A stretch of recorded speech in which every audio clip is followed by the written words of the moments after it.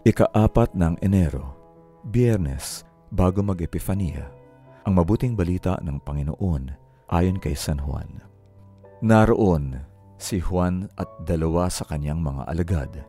Pagkakita niya kay Jesus na naglalakad, ito ang kanyang sinabi, Hayan ang kordero ng Diyos! At narinig ng dalawang alagad ang kanyang binigkas at sinundan nila si Jesus. Lumingon si Jesus at nakita niya silang sumusunod sa kanya at sinabi niya sa kanila, Ano ang hinahanap ninyo?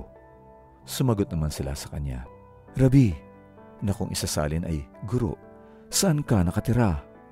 At sinabi niya sa kanila, Hali kayo at makikita niyo.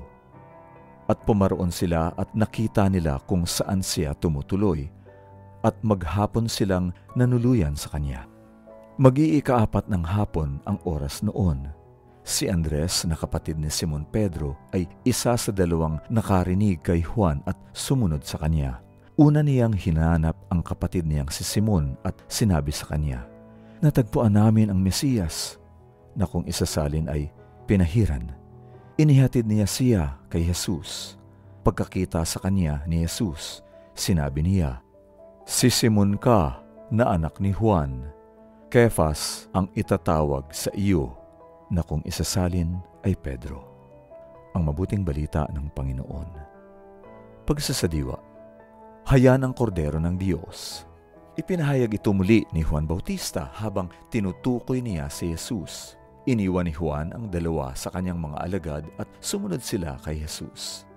Si Andres, isa sa dalawa, ay kalaunan ay inanyayahan ang kanyang kapatid na si Simon patungo kay Jesus. Tinanggap ni Jesus si Simon at binigyan ng pangalang Kefas o Pedro. Ang pinasimulan ni Juan Bautista ay humantong sa pagbubuo ng unang grupo ng mga alagad ni Jesus na simulan na ang pagpapahayag ng mabuting balita tungkol kay Jesus. Isipin mo kung ang isang Kristiyanong mag-asawa ay magdadala ng kanilang pananampalataya sa isang bansang hindi Kristiyano at magagampanan nila ang tunay na bukasyon na magkaroon ng mga anak at mabinyagan at maging mga Kristiyano.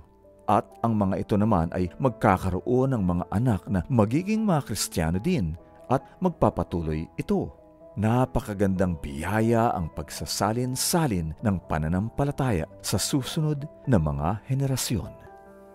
Pagsasagawa, tuparin ang iyong misyon. Hindi mo alam kung paano ito magdadala ng dagsadagsang biyaya sa ibang tao.